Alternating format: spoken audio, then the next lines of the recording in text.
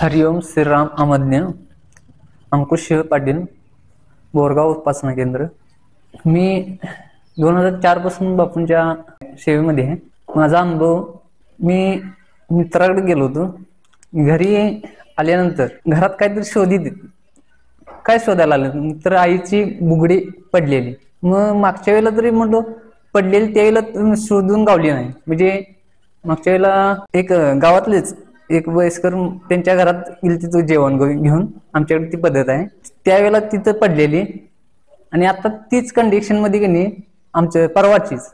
आमच्या भावकीत एक वयस्कर वारलेले. तिथं आई गेलती आमची. आणि मी दुसऱ्या करून आणलेल्या त्या बुगड्या ती तीच सिच्युएशन खालची पडलेली बुगडी. कुठं पण म्हणलो आता गावणार नाही हे शक्य नाही.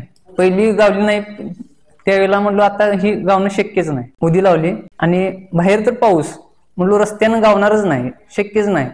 बाहेर येतोय तर रस्ता चकचक असा अंधार म्हणजे संध्याकाळचं साडेनऊ वाजता. बघतोय मग बॅटरी घेतली. बघित आलो तर चकचकाय लागला रस्ता. तर म्हणलं शक्यच नाही गावणं. आणि एक दहा शंभर फुटावर असं गेलो. तर बापून न्यायच्या तिथं तिथंच तिथं नेलं आणि ती बुगडी गावली. एवढीशी छोटी त्याच क्षणी माझ्या डोळ्यातून पाणी आलं. बापू क्षणोक्षणी म्हणजे आहेतच पाठीशी आपले. हरिओम श्रीराम अहमद